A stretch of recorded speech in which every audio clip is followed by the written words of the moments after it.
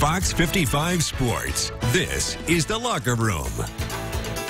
Hey, welcome back inside the locker room, everyone. Pete, you were there last week for it, but what a way for St. Francis to rebound from back-to-back losses. Incredible game. One of the best I've ever seen. One of the craziest endings. Yeah, the back-to-back champs rebounded from back-to-back losses last week with a thrilling overtime win over Siena Heights at Bishop D'Arcy Stadium. Gavin Gardner sent the Cougs home a three-point winner with this kick in OT.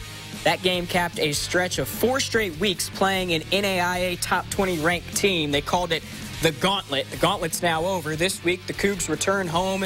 They'll begin a home stretch uh, of their schedule with some much easier competition. They welcome Missouri Baptist to town for their last regular season home game of the year.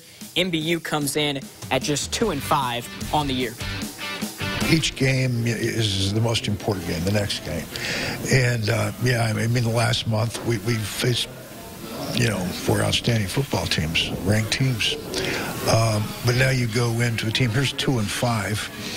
Probably the best two and five team I've seen. Every game's important. Uh, I mean, if you lose a game, I mean, that's not very good. I mean, our playoff shot is over, so we just got to make sure every game is important. Every next game is the most, always the most important. So that's just kind of how we're looking at it. We just got to do our thing. Um, O-line's got to take care of our business, and quarterbacks, running backs, receivers, and all the defense, they just got to stick with their thing, what their coaches tell us, and then that'll definitely help us out. Regardless of record, regardless of a gauntlet or not, maybe this is the end of a gauntlet. We, uh, we're going to have to improve our, our offensive performance. We're going to have to continue to play hard on defense, hopefully get some people well, get back into the mix, and uh, be ready for a tough, tough opponent Saturday.